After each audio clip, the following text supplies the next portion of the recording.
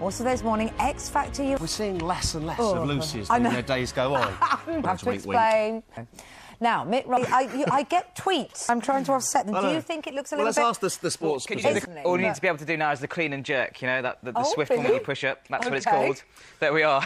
That's Right. She didn't get to watch that match because she was too busy at a training camp with the uh, the GB Fed Cup team. It's her new job. Yeah. So good luck to her with that. Actually, the Fed Cup. Good luck, ladies. You've never done that on Facebook. Well, you see, I selling in some way. That's the fear, isn't it? That this will mean it's more about money. Desperate plea. Come was on, doing it for daybreak. everyone else. Struggling to find a job mother. Haley. I loved your uh, third tip there. The talk, uh, fantastic. You always make us feel. They should take away the good and the Oh, his name as well. right. It's up on that bit of satire. That was uh, just Mr. Bre- Bremner.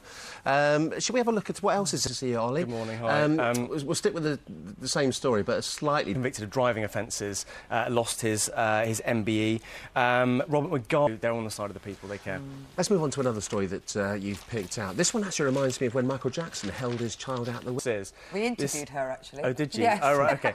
Uh, you know what, sometimes it's good to throw caution We to the shouldn't wind. wrap our children in cotton wool, should we? Although No, this precisely. might be the other extreme. But yeah, very interesting. Yeah. yeah. I've got time for one more. Can we? Are doing well. And the most extraordinary thing about this is that apparently... The buzzer. That, that baby really would need a helmet Yeah. if it was anyone near Britain's Got Talent. All right, good to speak to Thanks, you. Ollie. Thanks very much indeed.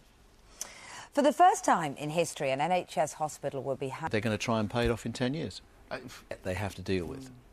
that we all view with horror with a very unique perspective. I want to. Mm-hmm. Thanks very much, Cindy. It is on Wednesday, the 1st of February. On the pro- At 10 past 7, let's check in on what's happening where you are. uh, first, it's time. Thanks, Lucy. Lucy. Now, an advert for a we've been talking about how interesting it is. You're giving them health. Still a- sorry. Looks good. Going to chat to them later. That's not happening, by the way. In it. Yes, I apologise. That was That Kate. should- whole sort of section of the community that often gets forgotten about. Was it was it a, a breath of fresh air when you when you? you In or mobile phones, so you know it's it's it's a, a very And many dehumanising process. For good reason. though. Oh, Many would say. I mean, Ross King has been catching. It's eight o'clock. Hi there, welcome to that. We're delighted to say. I think I don't blame them. We all feel like hibernating and they're not sure. Uh, lo- um, Pictures of uh, here's sleep well. Other end of the day for him, of course. Lucy's going to come into the warm now. I think she Deserves a hug, I mug think, of now. tea, doesn't she? And a nice warm up. Uh, that's about it for us today. But pop the kettle on because Lorraine's up next with Dancing on Ice's Shine Tilton. She's doing brilliantly. And tomorrow we'll have Aldo Zilli on the show. So we'll see you then. Have a good day.